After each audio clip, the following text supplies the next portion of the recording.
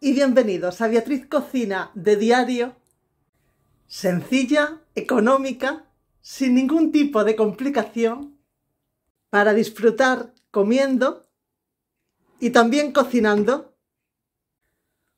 Hoy vengo con un pollo asado sin horno, evitando el gasto que supone de luz, con un resultado buenísimo, con estas especias de ruca, una empresa de Granada que lleva 75 años llenando de color y de sabor nuestras cocinas. Así que atentos, porque en un momento la comida solucionada. El pollo lavado y bien limpio de cualquier resto de plumillas.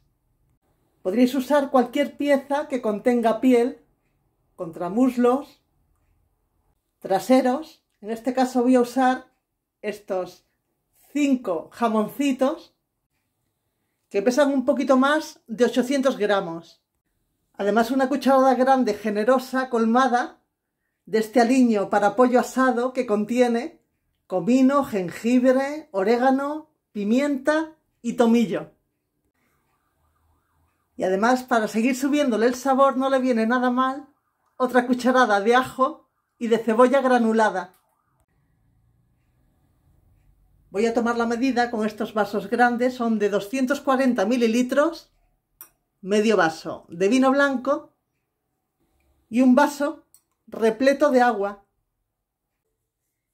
Y a la par que el pollo, voy a hacer la guarnición, que podría ser pues lo clásico, pimiento rojo de asar con su piel, o dos patatas medianas cortadas así en cuartos, que quedan con un acabado buenísimo, y ya si se quiere, pues unas ramitas de romero fresco recién cogido.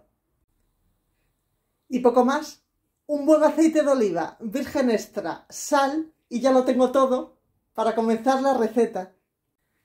Pero antes un truquillo de esos que me gusta daros por si os vale, mirad, ahora que empieza el calor, los bichos, las moscas, que quede desagradable sobre todo en la cocina, mirad, podéis partir un limón por la mitad ponerle unos clavos de olor y así perfuma y ahuyenta a los bichos de esos remedios antiguos de siempre.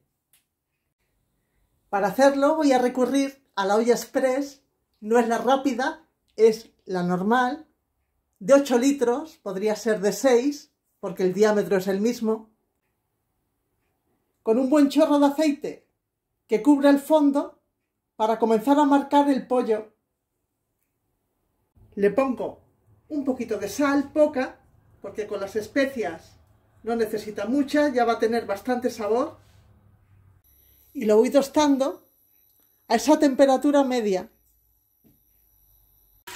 Ahora no se trata de que quede hecho, sino que coja color con un tono dorado.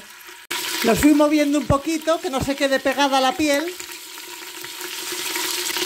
y así vuelta y vuelta. Y así con el pollo bien tostado, añado el vino, dejo que vaya evaporando el alcohol, dejando que cueza un minuto, y así se suaviza. Y mientras voy poniendo las especias, el condimento para pollo, cebolla y ajo que con todo esto, ¿cómo no va a estar bueno? Con el vino reducido añado ya el vaso de agua.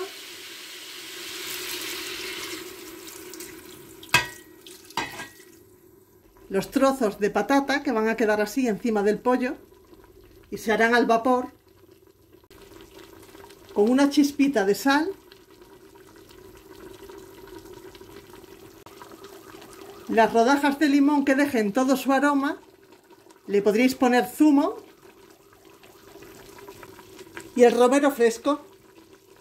Y tan simple como tapar la olla, la pongo en el nivel 2, que es el que se recomienda para carnes y legumbres, cocciones fuertes. Espero a que suba la válvula y coja presión que es ahora Mantengo esa temperatura media de un nivel máximo del 9 en el 7 y ahora es cuando comienzo a contar el tiempo, 20 minutos. Acabados esos 20 minutos, retiro la olla y dejo que pierda la presión antes de abrirla. Y una vez que ha bajado la válvula, ya sin presión, el pollo en su punto, las patatas muy tiernas también, y todavía queda ese caldo, esa salsa tan buena, y que además por seguridad debe quedar porque las ollas nunca deben cocinar en seco. Ya emplatado, con las patatas mantecosas, súper tiernas, el pollo con muchísimo sabor, regado con su salsa, tan bueno que os recomiendo que lo hagáis porque vais a repetir. Muchísimas gracias por vuestra atención, por compartir el vídeo, por suscribiros al canal, por tanto y por todo.